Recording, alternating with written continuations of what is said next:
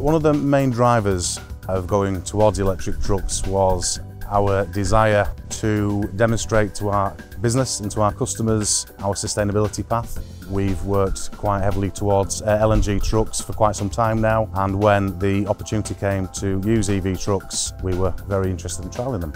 I was lucky enough to be invited across to Sweden to see the trucks themselves at uh, Volvo's site and had the opportunity to uh, drive one of the trucks over there.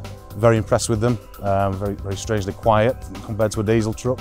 That kind of cemented the decision to push forward with buying a couple of the trucks. We worked quite closely with Crossroads in terms of the lanes that we could put these trucks on. The route planning was very important before committing. We've got dedicated runs that we've kept the trucks on and it's working very well.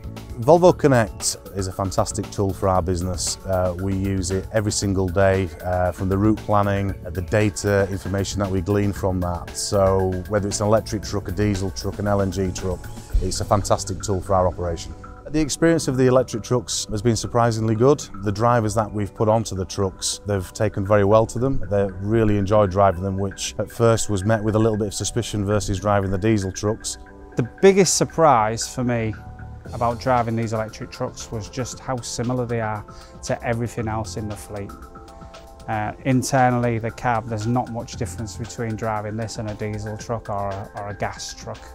The, the noise inside the truck is absolutely nil. So when I'm delivering training, it's just a different experience. I can fully get everything across there to the driver. It's a lovely experience to be carrying out training in these trucks. Uh, as a trainer, we're always keen to try new kit. Uh, the kit that we use is it's always improving continuously. It's just that safety and awareness out on the road. And I think that's really important, especially as a trainer when we're actually delivering training to our guys, just explaining and giving them the reassurance that every time you jump into a brand new truck uh, from Volvo, um, the safety equipment is second to none.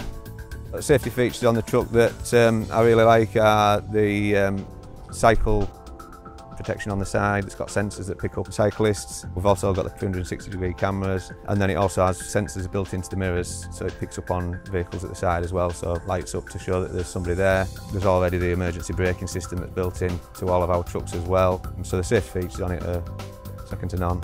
Our customers have been very excited by um, the fact we've moved to some uh, to electric trucks. More so to the fact now they're actually want us to invest in more of the trucks so we can push more and more onto various different collection points. So yes, it's been taken very positively. There's a real possibility our EV truck portfolio will grow.